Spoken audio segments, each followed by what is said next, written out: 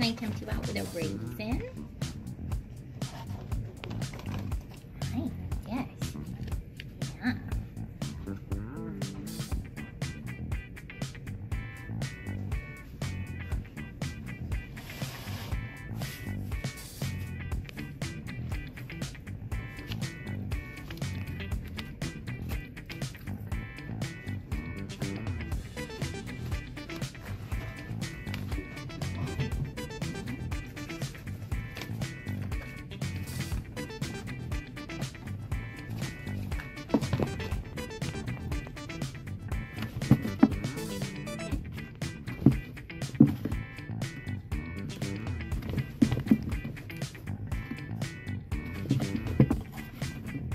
This is Sam that's in here, and that was Orion who came up to look for him. Um, he's waiting patiently for his bath time. So the chinchillas get dust baths about two to three times a week.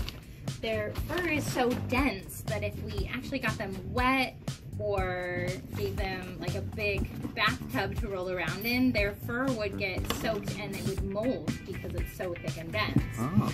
So it's actually a kind of like a volcanic ash that's ground into dust. It's not just dust that we found while we were sweeping up the building.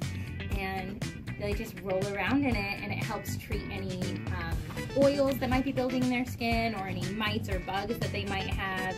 It's gonna get them fresh and clean. And you can find them in any pet store? You sure can, yeah. It's a specially made dust, like I said. You just don't find your own dust. You get it at the pet store. Um, and you really want to just give them about 15 minutes, two to three times a week. If, if we leave the dust bath in there, unfortunately, the dust bath becomes a litter box. Ah. Uh, and then they might roll around in that as well. So you want to get it um, just a couple times because they can actually do the flip side too and it can dry their skin out even further. I think someone's hogging the bathtub. A little bit. Time's up. It says I'm very dirty.